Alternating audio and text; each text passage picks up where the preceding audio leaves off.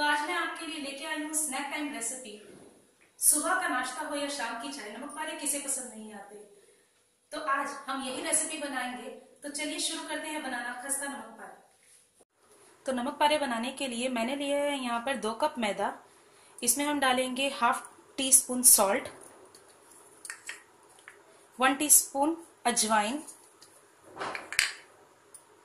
और मैंने लिया है वन फोर्थ कप ऑयल तो ऑयल को हम एक साथ नहीं डालेंगे थोड़ा थोड़ा करके डालेंगे। थोड़ा थोड़ा डालें और इसको इस तरह मिलाते जाएँ।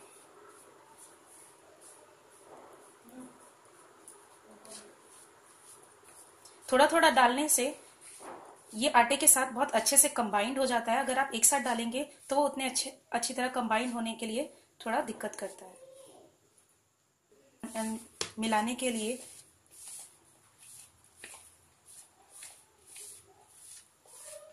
अब हमने इसमें मोयन लगा लिया है और इसको चेक करने के लिए कि हमारा मोयन सही पड़ा है या नहीं। आप आटे को लें और इस तरीके से उसको बाँध के देखें। अगर आपका मैदा बंध जाता है इस तरीके से तो इसका मतलब है आपने जो ऑयल डाला है इसके अंदर, वो बिल्कुल ठीक पड़ा है, सही क्वांटिटी में पड़ा है। लेकिन अगर ये इस तरीके से नहीं बनता है और बिखर जाता है ऐसे बिखर जाता है तो आपको एक दो टी स्पून थोड़ा सा और डालना पड़ेगा। थोड़ा सा और डालें और उसको ठीक कर लें। अब हम इसका हार्ड डो बनाकर तैयार कर लेंगे। जैसे पूड़ी के लिए डो तैयार किया जाता है, बिल्कुल उसी तरीके से हम इसका डो लगा लेंगे। तो मैंने यहाँ पर सख्त डो लगाकर तैयार कर लिया है और इतना डो लगाने के लिए मुझे हाफ़ कप से थोड़ा सा ज़्यादा पानी लगा, बस हाफ़ कप और एक टेबल स्पून पानी लगा है और उससे बहुत ही अच्छा आटा गुनकर तैयार हो गया है। तो अब इस आटे को हम 15 से 20 मिनट के लिए ढककर रख देंगे ताकि हमारा आटा सेट हो सके। तो हमारा आटा सेट होकर तैयार हो गया है। तो चलिए इसके अब बना लेते हैं हम नमक पारे। इसको किसी भी फ्लैट सरफेस पे निकाल लेंगे। और एक बार फिर से इसको अच्छे से गूंथ लेंगे।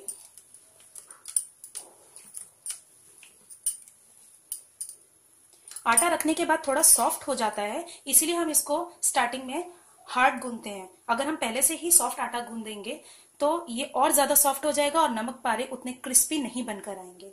तो इतने आटे में से अब हम इसके इक्वल इक्वल चार पोर्शन कर लेते हैं।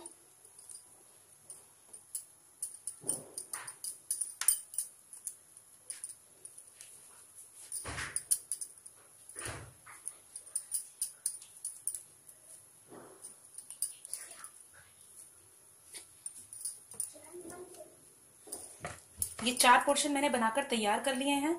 अब इसमें से एक पोर्शन को लेके हम इसको बेल लेते हैं।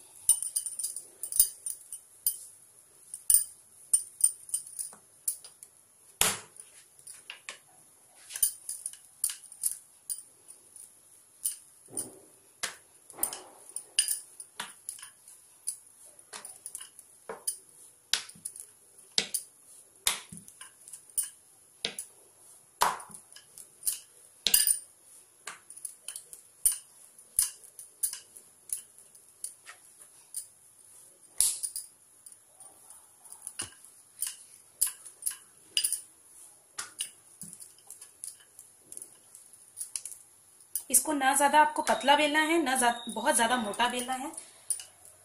मीडियम रखेंगे।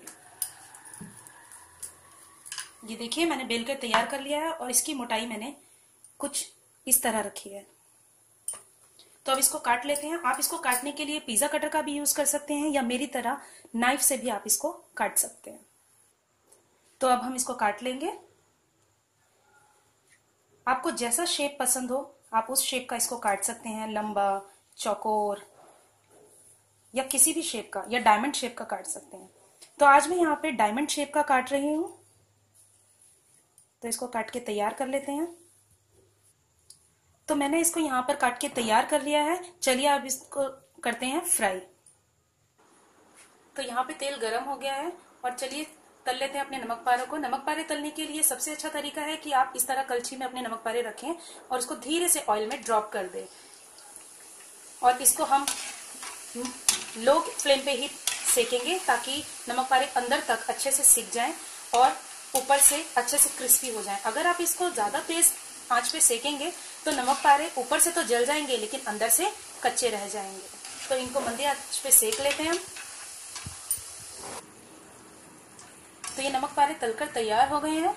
तो चलिए निकाल लेते हैं इन्हें किचन टॉवल पर।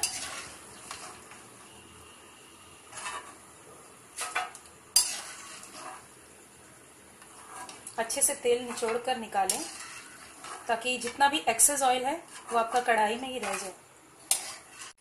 तो बाकी के नमक पारे भी इसी तरह सेक कर तैयार कर लें। जब आपके नमक पारे बिल्कुल अच्छे से ठंडे हो जाएँ, तब इन्हें किसी एयर टाइट कंटेनर में भरकर स्टोर कर लें। और इन नमक पारों को आप आराम से 15 से 20 दिन, बल्कि एक महीने तक भी आराम से खा सकते हैं, ये खराब नहीं होते।